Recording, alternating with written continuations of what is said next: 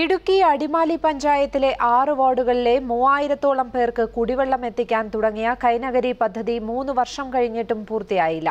ജലനിധിയാണ് പദ്ധതി നടപ്പിലാക്കുന്നത്. കുടിവെള്ളത്തിനായി സമരം ചെയ്യാൻ ഒരുങ്ങുകയാണ് നാട്ടുകാർ. അടിമാലി പഞ്ചായത്തിലെ എല്ലാ ആദിവാസി കുടികളിലും കുടിവെള്ളം എത്തിക്കുന്നതിനാണ് കൈനഗരി പദ്ധതി ആവിഷ്കരിച്ചത്.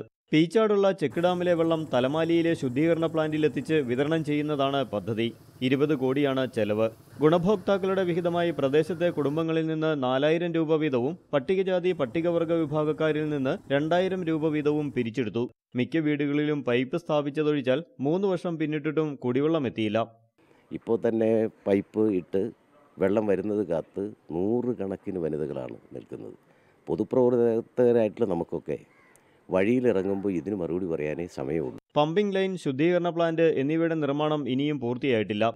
വനം പൊതുമരാമത്ത് വകുപ്പുകളുടെ അനുമതി വൈകിയതാണ് പദ്ധതി ഇഴയാൻ കാരണമെന്നാണ് ജലനിധിയുടെ വിശദീകരണം. അടുത്ത മാസം അവസാനത്തോടെ കുടിവെള്ളം വിതരണം ചെയ്യുമെന്നും ജലനിധി അധികൃതർ അറിയിച്ചു. ഏഷ്യാനെറ്റ് ന്യൂസ് തൊടുപുഴ.